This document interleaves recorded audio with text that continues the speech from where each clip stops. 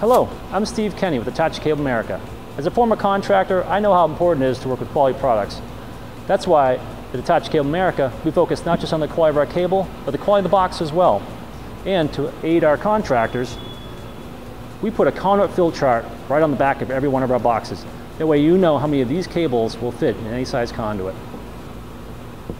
If you haven't tried our product yet, please do. It's made in Manchester, New Hampshire, in the good old USA. Thank you.